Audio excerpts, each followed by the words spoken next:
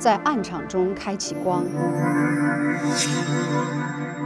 场景和情感错综复杂，其实都在帮助我们去贴近内心真正的渴望。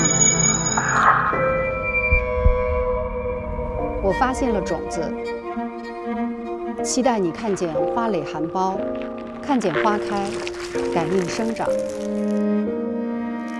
我探寻着，观察着这个世界。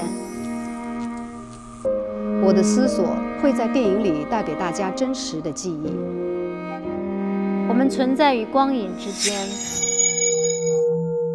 在义无反顾中获得自由。